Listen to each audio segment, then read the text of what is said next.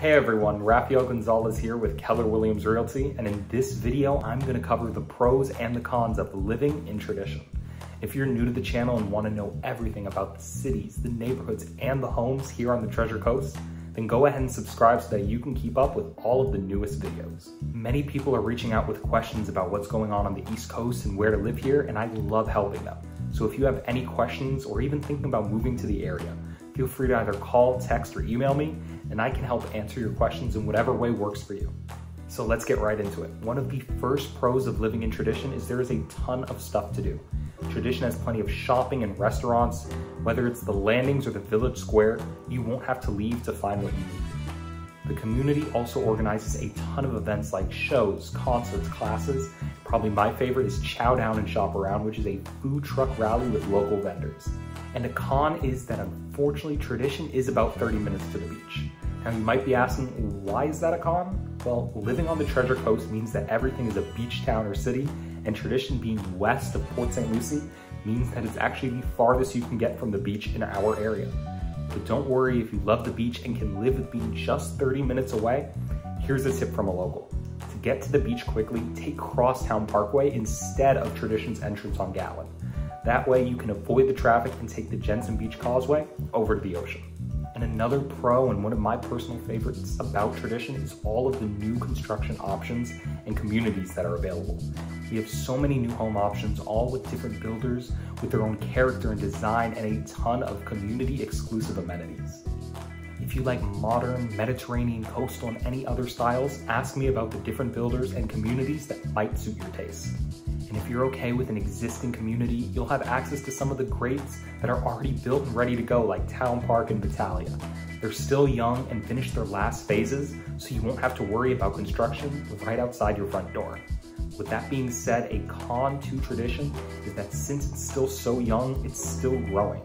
There are so many new communities like Telaro and apartments growing, and down Village Parkway, they're even working on commercial properties to bring more business and jobs to the area so you'll notice more construction going on south in Tradition, but you won't see that around the landings or village square, so keep that in mind if you're thinking of moving here. Another con with Tradition, and really St. Lucie County in general, are the high property taxes.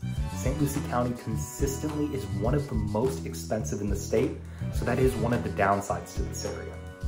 And unfortunately, on top of that, Tradition is considered a master plan community, and for all that comes with it, it's going to ask for its own master association fee on top of any community development district or CDD fees. So while those fees can add up, you're still getting a lot of value for less than what it would cost if you chose a similar community farther down in South Florida.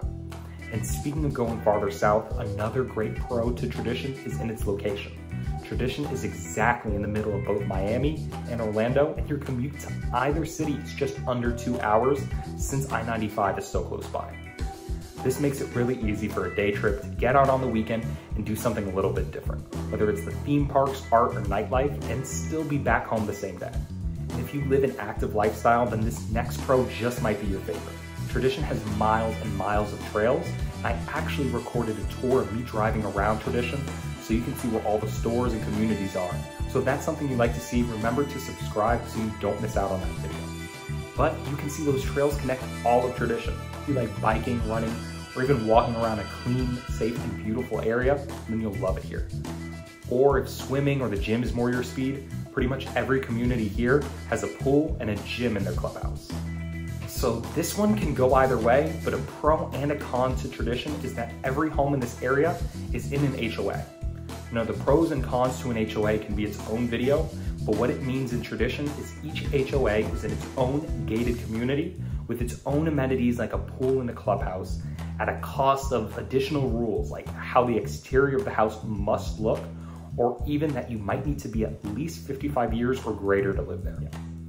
So recently, a bunch of people have been reaching out with different questions, everything from where to live, what schools are good, and what is there to actually do in and around the Treasure Coast. If you have any questions yourself, feel free to shoot me a text or give me a call. I really love getting these questions and helping people figure out if this area would be a good fit for them. So if anything like that comes up for you, let me know how I can help.